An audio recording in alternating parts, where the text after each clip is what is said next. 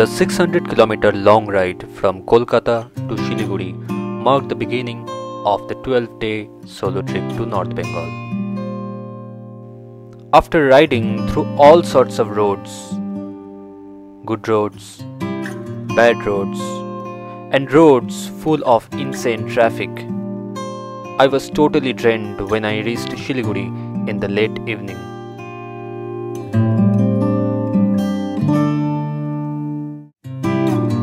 The next morning, it was a fresh start as I left for Kalimpong, my first destination of the trip. When I was thinking how to make the journey little exciting, I met three lovely gentlemen near the Coronation Bridge in Sevoke. Adarsh, Diwan, and Sisir. They wanted to be part of my journey as they were on their way to their village in Gorubathan. The drive through the breathtakingly beautiful road and some wonderful tea gardens made the journey a memorable one.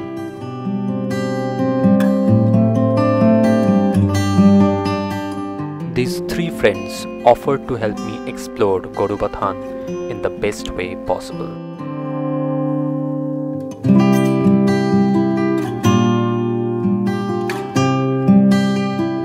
My new friends took me to a point by the river Chel from where one gets the best view of the adjacent hills.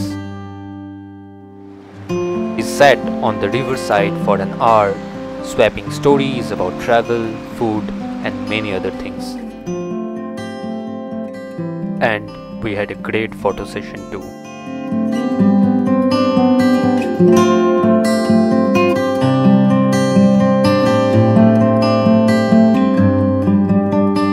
Cheers,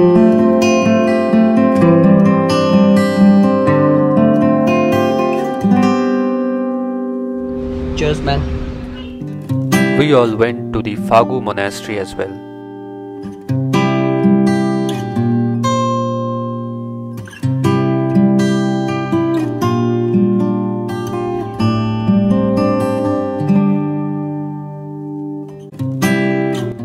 They also showed me every nook and corner of their village, like where they grew up, where they used to play, and shared many interesting stories.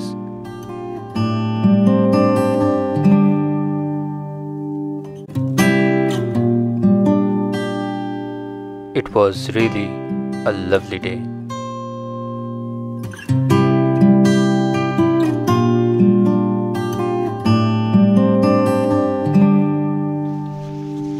चाचा नाम क्या है इसका नाम क्या है रातू रातू